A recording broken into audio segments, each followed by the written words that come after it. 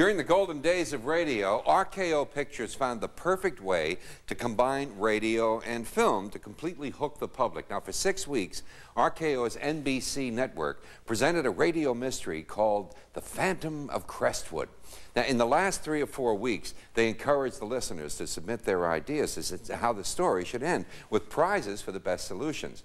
Now, the catch was this. I love this. It's a great PR campaign. You had to see the movie to find out how the radio show ended. The ending probably didn't even matter that much. I mean, what we wanted was to see how these people looked because we've been listening to them so long.